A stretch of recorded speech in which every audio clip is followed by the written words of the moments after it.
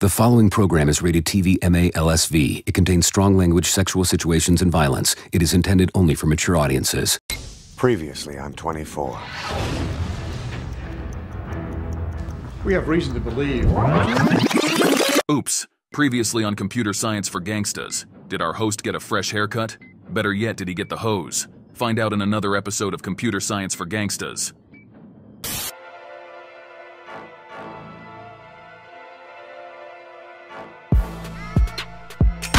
Okay, I'm back again. Sorry for that rude interruption. Had to go get a haircut. You know, just like the last example, I gotta stay fresh for the hoes, bro. You know, they want you to come with condom. I, I guess that does make sense. They want you to buy dinner. I guess it depends on how much the meal is, and you know, they may need you to be fresh. So you know, your boy had to stay fresh. Go get a haircut. You feel me? But yeah, yeah. Back to what we're saying. So yeah, let me give you another example of using an if statement, right? So let's say you own a club, and you know, AI is taking over everything right now. So maybe you have like an AI robot or whatever to be a bouncer, or you have a bouncer app, right? Where people have to scan their IDs to get into the club. So a good example will be if when they scan their ID, the logic of the app may work this way, where it'll, it'll say if age is greater or equal to 21, they can get in. Else, they don't get in. Right. Very straightforward, very simple. There may be exceptions, right? I don't know if they still do, you know, those college nights on Thursdays were fired, man, you know. But I haven't been to the club,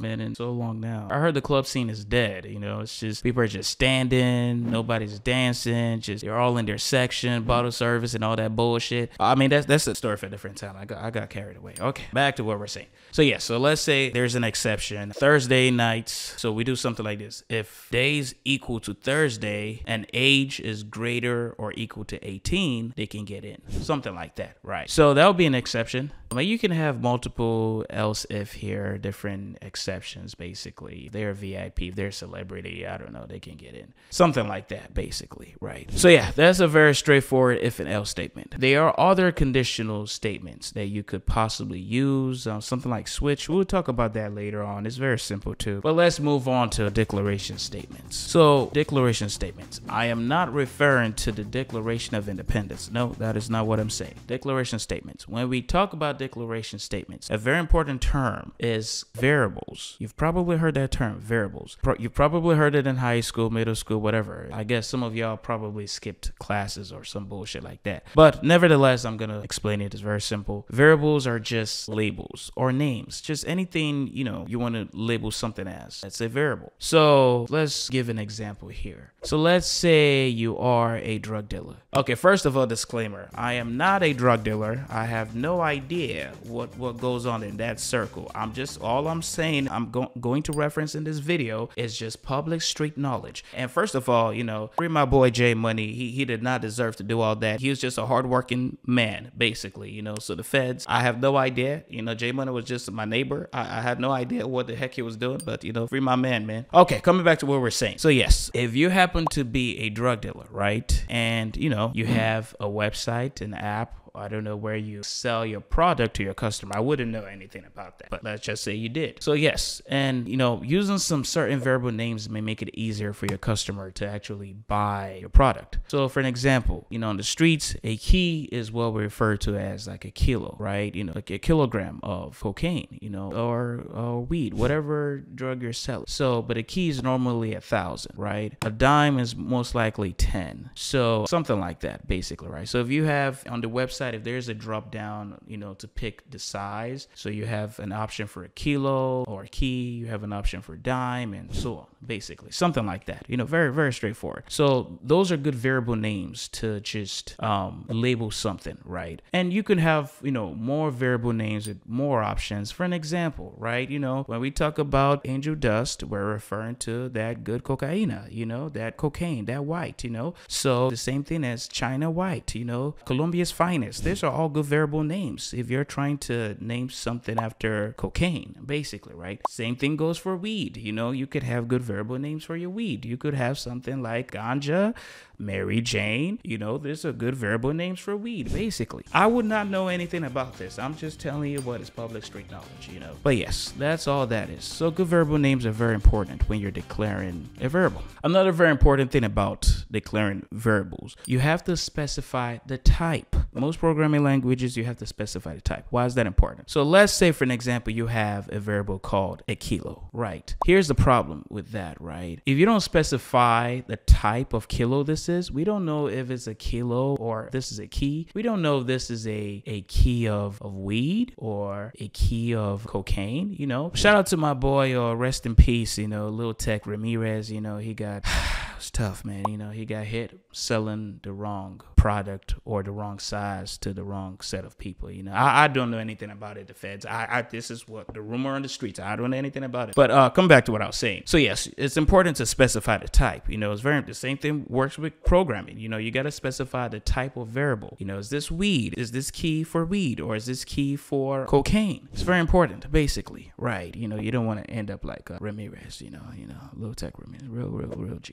But as I was saying, so yes, that's very important, right? And variable names are just they're just very useful, right? Because as I just said, it could have different names that means different or the same product or something like that, basically. And you know, just give you a scenario in case the feds happen to, I don't know, hack your website and get a transcript or whatever, and it says added 200 pounds of Mary Jane, you just be like, see, hey man, I don't know what you talk about, man. You know, it's not my fault that I was just trying to warn Spider Man that shit, like Mary Jane done added 200 pounds. I mean, how the fuck is he gonna swing her fat ass along New York skyline? I was like, god damn, I was concerned for my boys Peter Parker. Like, fuck, like that's all that was. So it's good to go with variable names. Very important, you know. If you could find better variable names to name your product, I would advise you to do that. You know, I'm just telling you, man. You know, shout out to my boy J Money, man.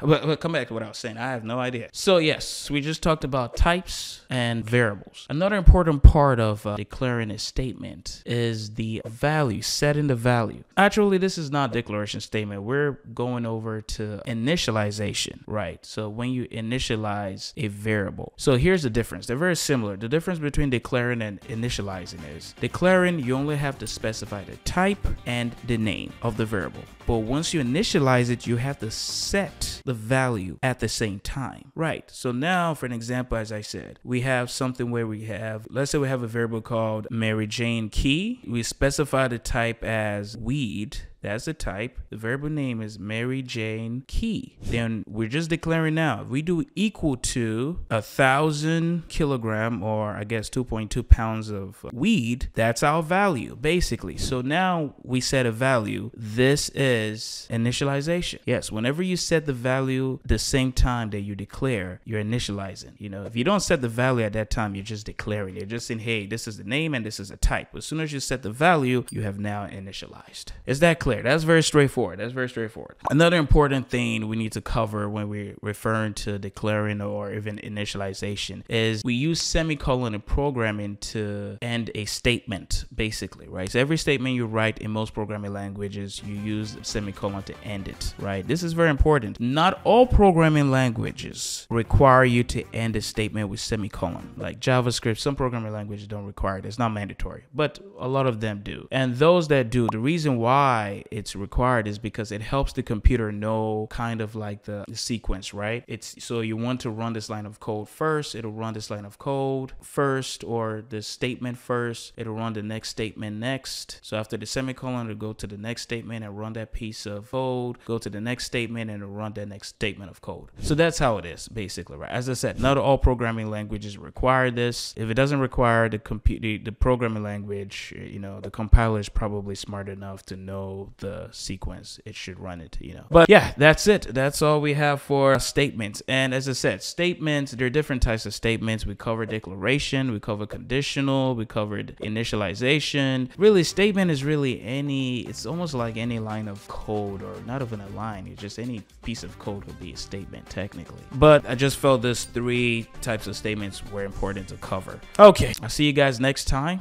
Hopefully. Oh, no, no, not hopefully. I just I gotta make ten of these videos, man. God help me. Oh, I gotta I lost that bet, man. I gotta do what I gotta do. Okay, see you guys next time.